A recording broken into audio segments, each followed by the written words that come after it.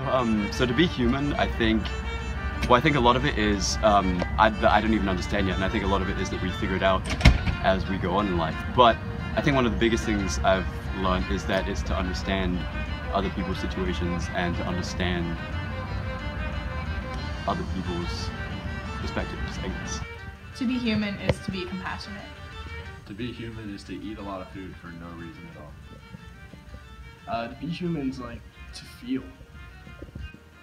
To be human is to make mistakes.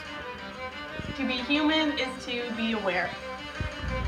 Being human is having the capacity to love. To be human means to recognize that you don't understand everything that's going on in this world. There are mysteries beyond our own understanding.